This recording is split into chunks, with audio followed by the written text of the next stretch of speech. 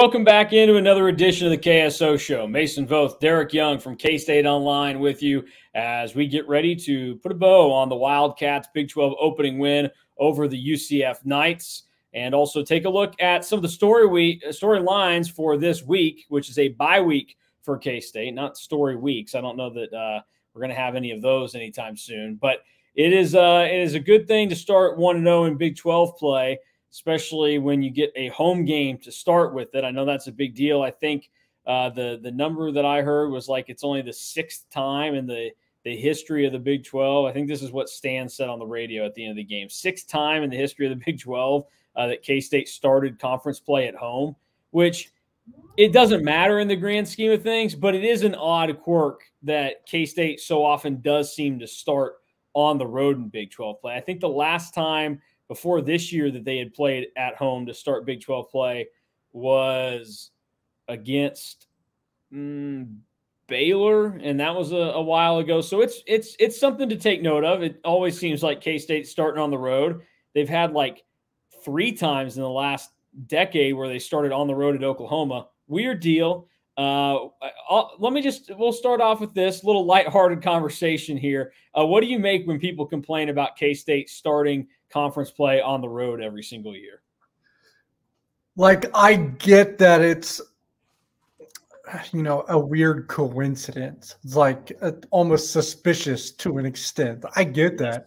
But when you're going to have the same amount regardless, like I, I don't draw a whole lot of conclusions or conspiracy theories from it um, in that regard. Like I, I don't know. Like I don't know that it's an advantage or a disadvantage. I mean, folks say, you know, yeah. it's an easy, it's it's easier to win at home, so you can get out and get the momentum. Maybe I don't buy a lot. I don't buy into it that much. I really don't. But what I will say is, like, it also makes other parts trickier, right? Now, it's not the same because these two teams are not what we expected them to be um, so far throughout through the season. Uh, I thought we thought Oklahoma State was probably a team on a downward trend. I don't think we expected the fall to be this significant. And obviously, Texas Tech was, you know, anticipated to perhaps be a Big 12 title contender, and they're sitting here one and three. But because you did get a home game with UCF out the gate, now you got back to back trips after the bye week to Stillwater and Lubbock, which would typically be a pretty tall task. Yeah, uh, I'm looking through it. For sure, in the last 12 years, only two Big 12 openers at home Baylor in 2017 and Baylor in 2011. Uh, K State won both of those games. So, uh, something to, to take note of. So, I'm doing just some crack research right here yeah. as we get going. I didn't anticipate going this way to start the show, uh, but now that I'm now that I'm in, I, have got to kind of go through it. Now, I will say one area that's kind of cheating. 2009, they started on a neutral field against Iowa State at Arrowhead. So yeah, kind of kind of counts, kind of doesn't. Yeah, no, I mean it's an it's an interesting layer of the schedule, certainly. Now, going back on what I just said, I still like some people may roll their eyes. I, I still think that road game in Lubbock is going to be pretty tricky.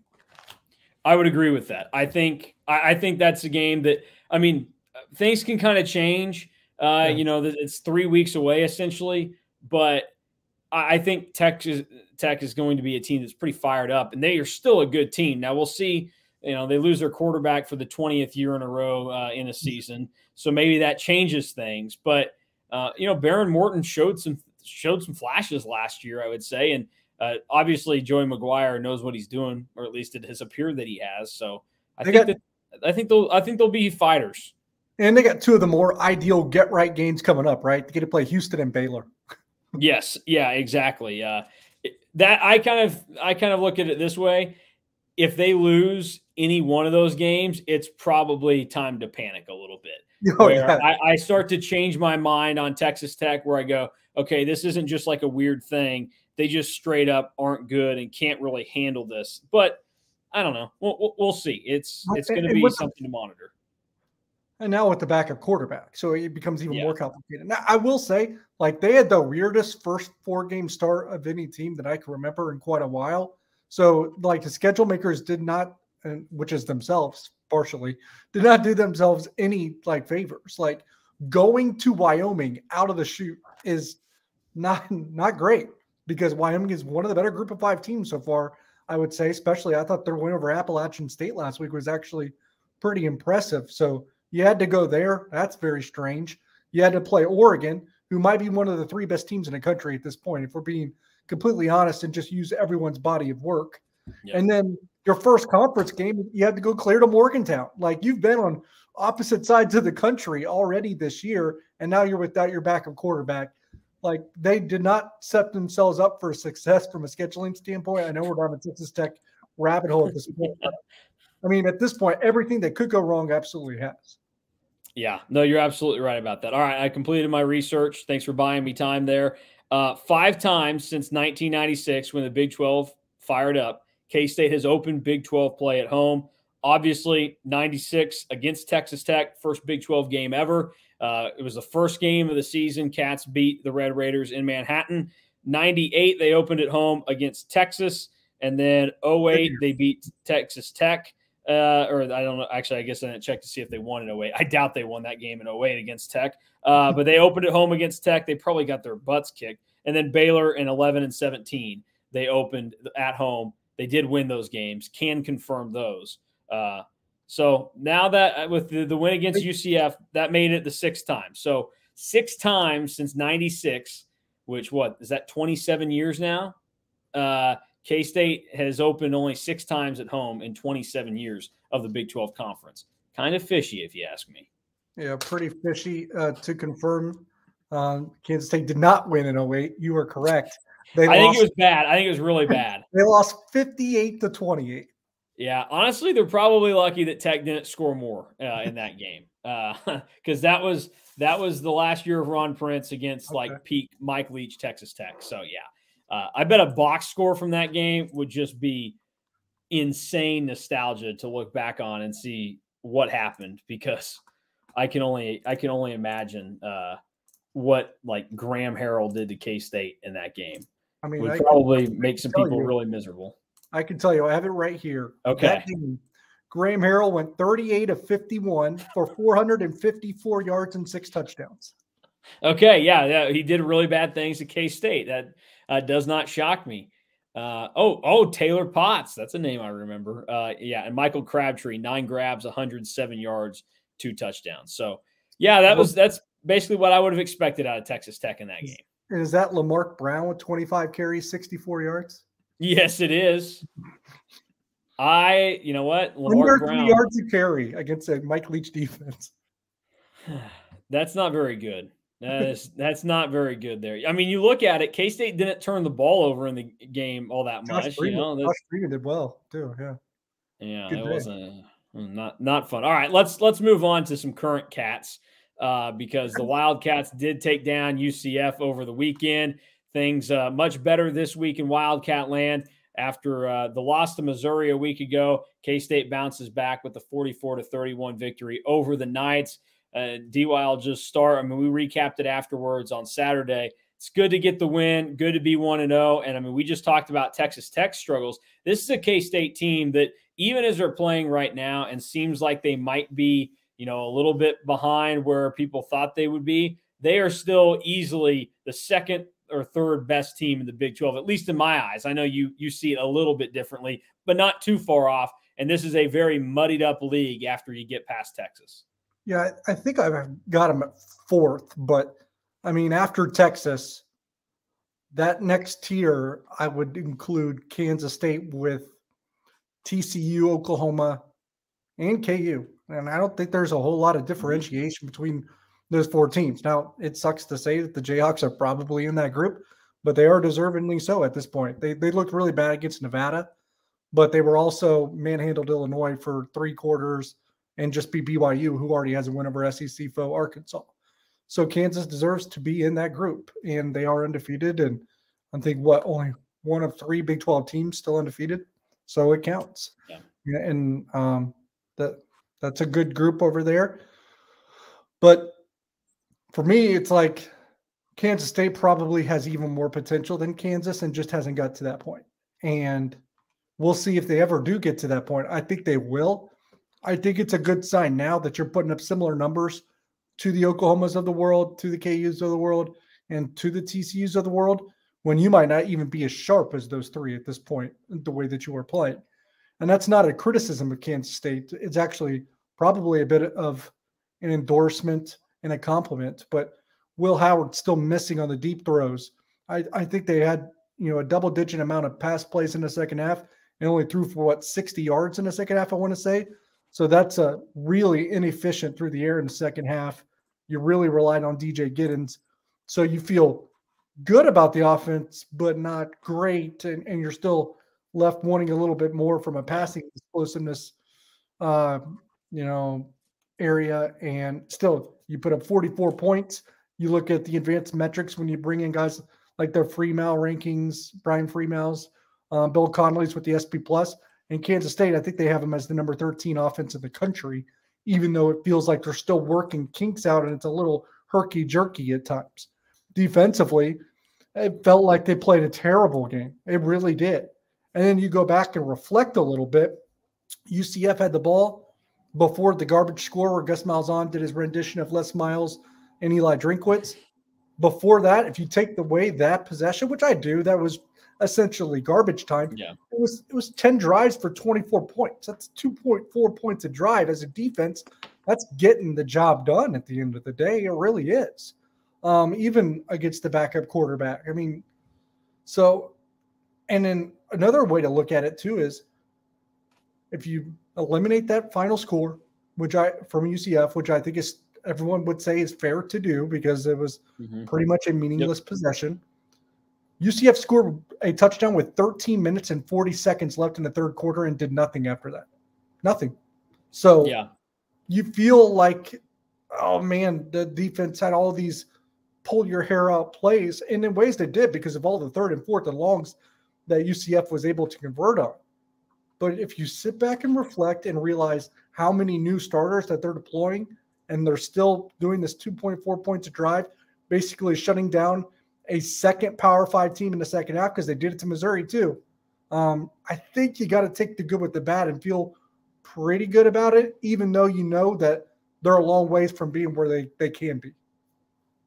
I would agree with that. I mean, I, I think it's the same type of deal the Missouri game where there was a very slow start at one point in there, but the defense did eventually settle in, make enough plays, give you an opportunity. And even though the offense almost did the exact same thing that they did in Columbia by not taking advantage of that opportunity, K State at least got one more chance. They did take advantage of it against UCF. And a defense that is still inexperienced, still having to work at some things, they did kind of ease in and, and get some stuff figured out. So I, I do think that, that is actually an important thing to take note of. And we'll see now moving forward how everything uh, kind of looks uh, for, for K State's defense. And they now get this bye week to you know let these guys that are young or inexperienced kind of sit back talk a little bit reflect on the first four games of the year and see what comes out of it. And also i mean you look at the schedule now like you come out of it with eat you hate to use this word because like whatever it's a conference game the history of oklahoma state but you kind of get to ease yourself back into things by facing an opponent in oklahoma state that isn't very good at throwing the football. Like there's a reason why they were playing three quarterbacks up until they lost at Iowa State, and that still wasn't like you know a great thing. They just picked one because it was Alan Bowman. So uh, this is this is a good spot for this K State defense, and they they've been better at times than what people would think. There's still a lot of room for improvement, and there are things that K State is doing right now that against when they play Texas later in the year. If they are doing that against Texas, they are easily going to get beat. The special teams and defense, the way it is playing right now, Texas is going to beat them handily, and it's not going to be a game that K State, I think, can be competitive in if they have some of these performances. But against everybody else in the Big 12 as of now, they are able to compete with them or be better than them. And the hope would be by the time that you do face Texas, you've built in enough time and experience to be better in some of these areas to where you are ready to go to Austin and actually go toe to toe with the team that you're likely going to play in a Big 12 rematch if you want to be in Arlington come the first weekend in December. So that's that's where I see things right now. Yeah, they're good enough to beat everyone else, but yeah, they got to pick it up a little bit to beat everyone else. Probably get a little bit sharper, but there's a and everybody has this problem. And people probably are get pissed off by hearing this because I've sang their praises so much, and and obviously they're always prone to stubbing their toe. Uh-oh, There uh-oh. is a huge gap, and I don't think you would disagree. There is a huge freaking gap between Texas and any other team in the Big 12 right now. There is. Yeah, I would agree with that. I thought you were going to compliment KU somehow in there, and I was like, No, oh, no, I already did enough. I think yeah. I don't think there's a huge gap between K State and KU. No, as they're playing right now, I, I, don't think so. I think that there can be still, um, Yep. and I because I think K State still has the ability to be a very complete team. I just don't think that is there for KU right now. But we'll I see. don't either. I don't either. But if they played right now, I think it'd be a close game. Yeah, and I mean I, that's late in the year. I I think that'll probably end up being like a night game on FS1 or something. That's going to be that is going to be a very fun environment this season.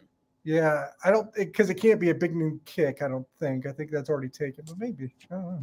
Yeah, I'd have to I'd have to look to see what the like next week, uh, next final week of the season is. I mean, obviously they'll be at Michigan, Ohio State the following week, but hey, it's never stopped Big Noon from going to Michigan, Rutgers on you know Big Noon or Indiana they- or Illinois I mean, or to whatever be they want honest, to do. Just yeah. anything to get Michigan on there. Yeah, well, they were just at Cincinnati last week, so Yeah, yeah, that was. Everybody talked about how week three there weren't any good games. You week four, Big Noon was like we, we have to go to Cincinnati, Oklahoma. that's the game. It's like man, I, re- I feel really bad for you that that's uh that that's what you're dealing with here. Uh, let's let's take there, a were, look there was here. plenty of other week. options. They didn't even have to do that. Um, Big Noon could go to Michigan, Maryland. Uh, Actually, Maryland's not bad. Uh, here's the thing. Like, I don't know if the if the Pac-12 would have some teams that are like, yeah, come do it. We'll play early games because like USC, UCLA is that weekend, and so is Washington, Oregon State. But outside of that, like, there's you know, there I I think there would be a chance that that could be a thing.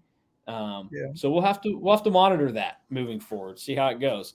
Uh, okay, let's uh, let's move on with some other things from the K State UCF game. Um, we'll we'll do this by recapping our over unders that we did earlier in the week and uh, go over them. You got a leg up on Drew and I again uh, with your total turnovers over two and a half is what you took. Drew and I both took the under. K State forced two turnovers in the game. First time that they uh, have been able to to make that magic happen, at least against a meaningful opponent. And uh, so they get the two turnovers. UCF they picked off Will Howard one time, so three in the game. Um, from the K State perspective, enforcing turnovers, what did you see this time out for the Wildcats that allowed them to take the ball away twice? Just Desmond Purnell making a play, right? Because the other one was uh, Timmy McClain just throwing it right to Jacob Parrish with not a receiver even in Yes. the neighborhood of him. So, I mean, somewhat fan does a good job of this. Look, turnovers are turnovers. Some teams, it is a skill to an extent, but there's a lot of a, lot of luck that comes with turnovers as well. Yeah. Uh, and And then I on the Will, I uh, penalized too because I also said it was an easy over. It was not an easy over. Yeah, you said not even close. Now, to be fair, the weather forecast did change a little bit on you. It, there was zero rain that had to be dealt with. Um, I was impressed that K State did it. Honestly, I think though that the secondary could have been better in terms of you know making some more plays because you if you watch the game, there were a lot of circumstances where Timmy McClain was forced to be running all over the place, throwing off a back foot, doing some really stupid things with the football, and he fluttered up some balls that UCF caught a handful of times that K State was in, you know, no man's land to try and get to. So uh, I think that that's an area where K State could improve upon because we're starting to see better pressure. It- It's been a strength is that front. Now the, the the DBs and everybody has to kind of step up, and when the opportunity is there, make sure that some guy doesn't sneak away from you to catch that butterfly ball that's coming their way. By the way, that dude is all entertainment all the time because Yes. something crazy is going to happen. Whether it's good for UCF or not is up for debate. But he is a flat out risk taker, um, hard to bring down, hard to corral. Uh, that that was a challenge.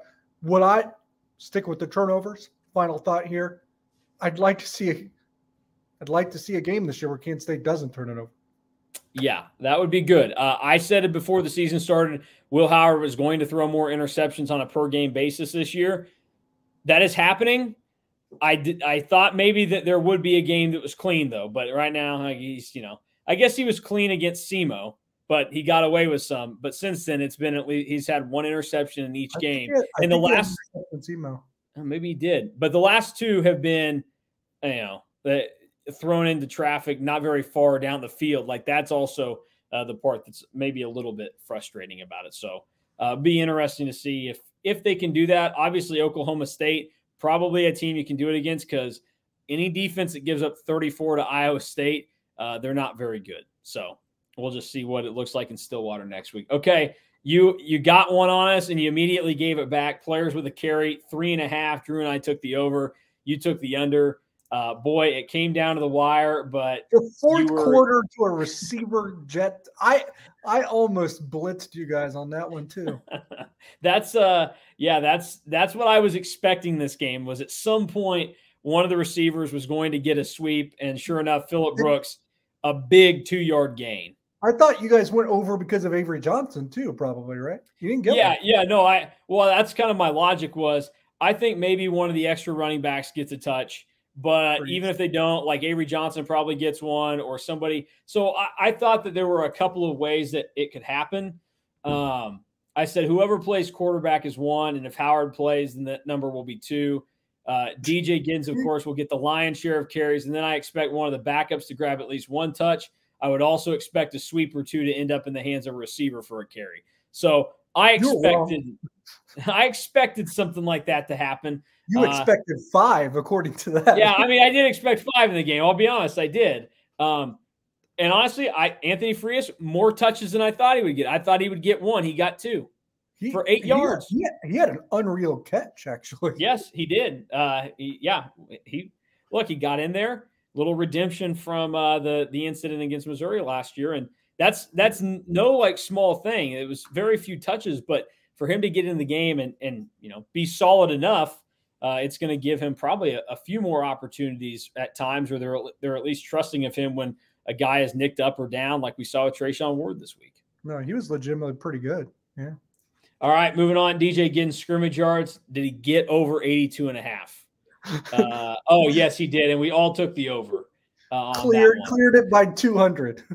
yeah. Uh, Drew Drew could have just said DJ Giddens receiving yards and we would have gone over the 82 and a half. Uh, if you've been living under a rock, DJ Giddens 293 scrimmage yards in the game, four touchdowns. 207 of them came on the ground off of 30 carries. Then he caught eight balls for 86 yards. So, uh, yeah, a pretty good day for DJ Giddens. And conveniently does it right before Michael Boganowski is going to make his college decision. yes. Uh, yeah. Very, very, very true. Okay. Uh, other notes in this game looking through it, uh, we had the uh, let me find it real quick, the yardage. Longest play from scrimmage for K State, 39 and a half yards. We all took the over in this one. Uh, for K State in the game, their longest play from scrimmage was 36 yards. It was a DJ Giddens run. I thought he might have got a cup because he had two over 30, I think. So I was like, yeah. you know what? I don't know how we did it, but great line, Drew yeah, exactly. Uh, yes, we had um, we had a 36, a 31 from Giddens, and then a 31 from Will Howard for a touchdown. Well, um, here's that. those. Yeah, those are that's what you get. Here's the concerning part. Um, uh, well, here, let me find this. Uh, the receiving game only had five big plays categorized as 15 plus yard plays and the longest passing play of the day was 24 yards. Uh, that was Will Howard to DJ Giddens. Um, that's certainly an area that is is a little bit of a cause for for concern right now, as the receivers aren't making the plays down the field, and the opportunity was there. Will Howard missed some throws on them. He missed Jaden Jackson. He missed Garrett Oakley. Um, there was another one with Garrett Oakley that gets sacked on. Um, whether look, people are debating who's at fault for those. Whoever is at fault, they're not connecting and, that's part of the issue at, at the moment um, as well. And and like you said, there was two of them I think that I remember that were fairly, I guess, intermediate is probably mm-hmm. a good way to mm-hmm. put it. Not necessarily huge. And those were to DJ Giddens. I think another one to Ben Sinnott, and those involved actually yards after the catch too. So um, yeah. that even brings it back in. Now, I think the one, whether whoever, what, what I don't know, people can decide what the culprit was, but the one to Jaden Jackson probably would have hit that number had that connected. Yeah, and that one that one was tough because it was right there. Like Jaden Jackson made a heck of a play on the yeah. ball. I wonder if he got tugged Just, a little bit. Yeah. It probably did. I mean, the UCF got away with a couple throughout the game. There was that one play that was intended for Sinnott down the left sideline that he clearly just got pushed and ran out of bounds and no, no flag. Um, so there, there was definitely some of that, and we'll, we'll see how that looks moving forward. Uh, the last one, Kobe Savage tackles five and a half. We all took the over. We were way off base. Kobe Savage only ended up with two tackles in the game. Um, you go and look at, at how the tackles ended up breaking down. Marques Sigle had the, the most out of the, the secondary guys with six, but Des Purnell led the way with seven. Austin Moore had six, no surprise there. And then everybody else was three or less. Um, you know, I guess the way to look at it is this is there weren't many opportunities for the secondary to make tackles this week because either A, the guys up in front of them made the stop. I mean, you already talked about how awesome Des Purnell was in this game, or B, the play was already way behind the secondary going for six. That's basically how things worked out for him uh, in uh, the week against UCF. Yeah, they Klieman kind of directed some. I wouldn't say criticism, but part of the areas of need on defense kind of singled out the secondary a little bit. All right, let's uh let's let's go on with this now. Some bye week storylines for the Wildcats. No game this week. It's early in the season. Uh well, we'll start with this. This is your own little storyline. When is the best bye week? If you could pick a point in the season after game X, when would you want the bye week or when would you think of that as being the best time for a bye week? probably near the middle, right? I would I would say that that would make the most sense. I don't know if exactly the middle, maybe because you play some cupcakes early too at times. Mm-hmm. Maybe like after week or after game seven, ideally. Yeah. But it probably probably changes from year to year because you you you don't hate it right now if you're Kansas State either. Yeah. I I was going to probably side with you on that. I think Game Seven is probably ideal. You get a little past the halfway point, but there's still enough of the season left that it's impactful. I feel like if you get past like Game Eight, you're going, why not? Why not just finish this thing right now? This is kind of a nuisance. Uh, but yeah, depending on your situation, like K State right now, this is a good time to have it based off guys being banged up. Uh, you feel like you can get this and, and work some things out. Now, with the things that they need to work out, it can be injury wise. It can be, you know, kind of getting guys on the same page or improving in certain areas. Uh, what is the number one thing that K State needs to take care of in the bye week of something that actually can be fixed or adjusted in some way during the bye week? Not, you know, oh well, they, you know, they need to go out and get like some six four receiver that can haul in passes. That's not going to happen. That's not going to work. Uh, but what is something they can realistically do with this time off without playing a game? Yeah, I'll just simplify it. You get healthy and get better. Um, that's really what you know. I wrote the story, but it, that's the gist of it all. Even all four storylines, it all gets gets grouped into that. Get healthy. I mean, Ben Sinnott came into the media room after the last game with ice all draped over his shoulder. Will Howard was questionable. Jaden Jackson and KT Leveston got hurt during the game with cramps, so it's not long term, and they'll they're fine. But obviously, they probably could use a little rest and recovery as well. Treshaun Ward didn't play. He will be back. RJ Garcia played three snaps and then didn't play. He will be back. Trace Spivey, I think, was just sick. He'll be back. Christian Duffy and Garrett Oakley. Um, a couple more weeks just to even get better. So they'll maybe they're you know clicking on all cylinders by the time they they end up at Stillwater. And you hope the same is the, the case for guys like Keegan Johnson, guys like Jake Clifton. You're not getting Daniel Greenback, excuse me, but everyone else has a chance to be 100% or close to it. You would hope, especially Keegan Johnson. I mean, I, if there's one thing I'm intrigued about, or I feel like we're getting like, you know, screwed over, not getting to see is 100% Keegan Johnson. I think yeah. like we're getting gypped on that. That's what it really feels like. So get healthy. And then I said, get better. You know, defense, fix the the explosives, especially when it comes to the pass defense. Like fix those. Uh, Climbing Klieman alluded to it being eye discipline. Like fix it or and make giant improvements. Eliminate the seven times it happens and shrink it down and make it so it happens less, right? And then offensively, let's work on that passing game a little bit, like get those receivers going a little bit. And maybe getting healthy is really the remedy. We'll see, right? That could be it.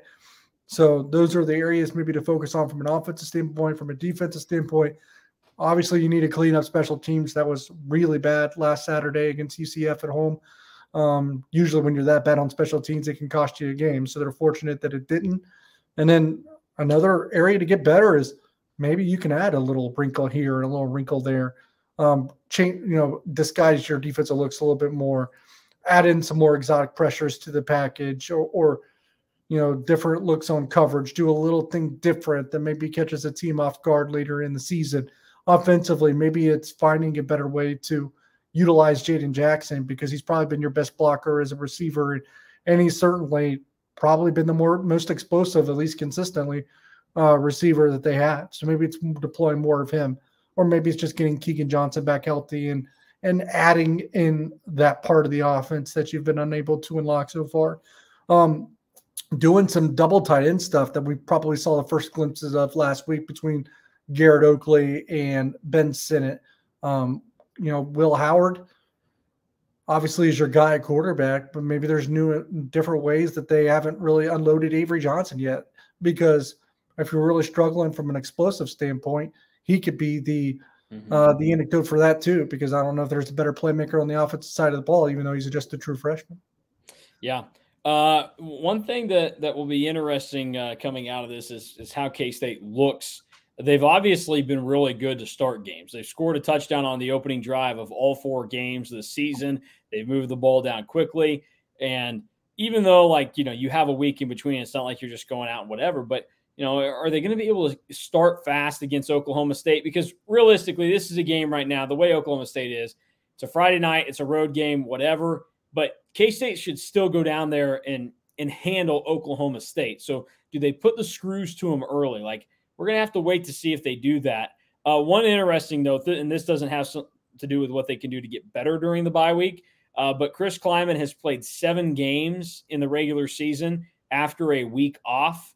K State is three and four in those games. Uh, last year they lost at TCU. The year prior they lost to Iowa State after a bye week, and then 2020 they uh, had three games after off weekends. They beat Oklahoma, they beat Kansas, and they lost to Iowa State. Those obviously, whatever, you know, the COVID year. Uh, and then 2019, they lost at Oklahoma State, and then they beat TCU. So stuff that we have that is is notable, but it probably doesn't matter in any way, shape, or form. Uh, because honestly, like K State coming off of the bye week last week, they played awesome at TCU. I mean, or last year, they played awesome at TCU. And yep. uh, if it's not for injuries to a quarterback, two of them, and you know Chris Tennant missing some kicks, K State easily wins that game, I think, or at least gives them the chance to win it. So, yeah, no, that's fair. I was going to say, in fairness, if if I wanted to defend some of those four losses, I mean they're playing some really good teams too. There, yeah. I mean, as bad as it sounded, I mean, I was and plus 2020 had a lost Iowa State. That was the ugly one, 45 mm-hmm. to zero. Maybe Iowa State. Yes, 20, champs, DY. Yeah, maybe Iowa State 2021 maybe that one probably isn't as that one hurts because that was what Breece Hall first play of the game, like yeah, 70 yeah. yard touchdown. Yeah, yeah, yeah, they were not ready for Breece Hall. A couple of those are pretty good TCU teams. Mm-hmm. Uh, that Oklahoma State team was really good too. So yeah, yeah. So just uh, something to take stock of with uh, the bye week and everything else. Uh, anything else in in this bye week that you know has your attention? You're you're locked in on and uh, want to kind of take note of before we get out of here? Just around the Big 12, probably. I mean, I think for a myriad of reasons, but Kansas at Texas is interesting mm-hmm. because yeah. I think that could be a, a hard dose of reality for Kansas, typically, but Texas never covers the week before the Red River shootout. So Kansas is also getting them at a good time. Yeah, good point. Uh, real quick, there's a look at the scores from week four if you're watching on the YouTube from uh, the Big 12. Uh, anything from this past week stand out to you, catch your attention with how things went down? Uh, maybe probably West Virginia, Texas Tech is the is the only real shocker yeah, with how it went. I'll give thoughts on each one. You keep those up there so because I don't have mm-hmm. them in front of me. Yeah, yeah, I uh, won't let you forget here. Yeah, TCU's win over SMU, I think, is quietly very impressive. I mean, SMU is no cupcake, and I thought the Frogs pretty much manhandled them. Um, that was one of the better performances of the week. The same can be said for West Virginia. Like I said, Texas Tech season a little bit on fire. So we'll see what if they can respond against two inferior opponents that are next on the schedule. But a one and three start, and now you're without your starting quarterback for the rest of the year. Um, kind of a disaster, doomsday for the Red Raiders. Kansas, I know that. I mean, beating BYU by double digits, that's impressive. Um, not quite as impressive, in my opinion, as to what TCU did, uh, but pretty close to it. Oklahoma, a two touchdown win in Cincinnati. Look, you'll take a road win any way you can get it, but I thought the Sooners were very unimpressive. And I believe the Bearcats had four red zone trips that they didn't even come away with points. Yeah. So that one is a lot closer than the score may even indicate and was only a two touchdown win to begin with. Oklahoma State, Iowa State, surprisingly turned into a shootout. I expected an Iowa State win, but not 34 to 27. Not sure it says much about either team, but the Cyclones are better this year than the Cowboys, and I thought that was at least manifested itself there. Interesting that Houston beat Sam Houston by 31. I'm not sure I mm-hmm. expected the margin to be that wide. Remember, BYU only beat Sam Houston by 14. So, not that the transitive properties ever a perfect, you know, comparison, but uh, you know, that's that's what we got. K State again a shootout. Um, some good things, some inconsistent things, but if you you're walking away, you essentially won 44-24. It, it's hard to be mad about that. And look, I expected Texas to smack Baylor on the road, but for them to go out and actually do it is another thing. So uh, hats off to the Longhorns for not losing focus and and just taking care of business. If if they can do that week in and week out, they're, they're not going to have that many close games on their schedule, including the Red River Shootout. Um, Texas can can blast the Sooners again if they, if they bring their A game. Yeah, I mean, do I dare start to give Houston credit again for beating a bad opponent? Uh, no, I won't do that. But it is it is interesting that BYU only beat Sam Houston fourteen to three uh, in Provo, and then Houston does that to them. I don't think it means much. That was the first game of the season for BYU. Uh, their, win over Arkansas trumps that, which is why you know the KU win is impressive. Um, but you know the Jayhawks get what they get. They got one defensive score right off the bat. I mean that that is a play. If if you have not seen the Cobee Bryant hit that then he scoops up for a fumble recovery and then takes it for a touchdown, it is an incredible hit. Like I'm still mesmerized by it. I I tweeted about it and I, it was a compliment. And I had KU fans replying to the tweet like going after me. I'm, I'm like, dude, I am saying something nice about your team right now. Like I, I'm legitimately impressed by what I saw there. Uh, that KU defense is still really bad. It took them to get those some turnovers to avoid giving up even more. Th- there are holes to be exploited there, and they haven't even played a team that I think has a good offense yet. Uh, so it will be interesting to see what Texas does to KU this week because not only does Texas have the the passing game right now where Ewers looks better, he has the receiving threats. It does start to seem like Texas has maybe got the run game figured out a little bit. Like I would start to maybe, you know, pay attention to that because early in the year it seemed a little bit scary not having Bijan Robinson or Roschon Johnson. But now you look at what's gone on the last two games. Jonathan Brooks has gone over 100 yards in both of those games. Um, and now he's averaging almost six yards a carry this season. So Texas now has everything really starting to come together on offense, and we know that their defense has been really good to start the year. I was going to say this is why the Longhorns are super good and why we're talking them up, and people are probably annoyed by us talking it up because we know that Quinn Ewers has had a pretty good start, seems to be a little bit under control and more managing the situation more effectively this season so far. And you just talked up the running game. And I was going to say at this point, they might have a top five defense in the country. Yeah. Nope. They're really good. Uh, they are the real deal this year. And that's why it is uh, up to the curse of Texas to uh, go on strong and actually, uh, you know, rear its ugly head for them at some point. We'll see if it's this weekend against KU. And I will say, I'm not, I'm, I'm convinced about Texas's team in the parts, in the sum of the parts. I am convinced but when you lack a fantastic head coach, you are susceptible to letdowns. Yeah.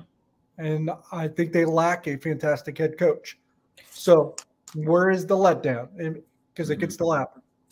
Yep, I'm with you. Uh, I am not a Steve Sarkisian believer, uh, but right now he at least he does he gets enough props for the way that they started. So that will do it for us. Later in the week, we'll have more thoughts on the Big 12 this weekend, and also uh, Dy and Drew will join me later in the week. We'll go over our Big 12 power rankings uh, a third of the way through the season, kind of explain ourselves a little bit more in our stance on those. And then uh, be sure to stay tuned because in between all that, coming out tomorrow, if you're watching or listening to this on Tuesday when it drops, DY and I will have a recap of what Chris Klieman had to say, break down some of the important things from his press conference this week because he's the only Wildcat we're going to hear from during the bye week. Uh, because there is uh, no game on Saturday, no players this week, no coordinators this week. And actually, we're going to probably end up going two weeks without talking to the coordinators because it's a Friday game next week. So we, we get them on Wednesday. Oh, how about that? Moving them up, moving them up the day. That's going to be a good time. Back to back days for everybody. So, hallelujah. We get to hear from Chris, uh, Collin Klein and Joe Klanderman. Like two guys I do like to hear from. Everybody know if you've been following along ever since uh, this staff came to Manhattan on my K-Man days, I'm a big Joe Klanderman guy. So he just needs he just needs his defense to play a little bit better right now. Uh, he's got he's got some things to clean up. He could he could tighten some things up too. Not, it's not just his secondary. I think he's got a little learning curve he's adjusting to. So uh, that will do it for DY and I. Be sure to uh, make sure you are locked into everything we have going on on our YouTube and podcast channels, and then also you got to be a part of uh, of everything we got going on at K State Online with On Three. Great stories on recruiting, the team, and then obviously everybody's favorite, the message boards, where uh, each and every week you get to tell me what I did wrong on player grades. I love it. That's what it's there for. It's to drive engagement. And uh, look, uh, we got to have some nuance in this. What I've learned with the player grades is uh, you can start to figure out which guys have certain vendettas against certain people. And I'm sure by reading uh, my player grades, you go, oh, you really don't like this group of guys, and you do like this group. You're probably right. So uh, be sure to get over there and uh, if you're not signed up, you can be, and then you can bitch and moan all you want about my player grades to me, and we'll see where that goes for everybody. So for Derek Young, I'm Mason Voth. Thanks for watching and listening to K State Online.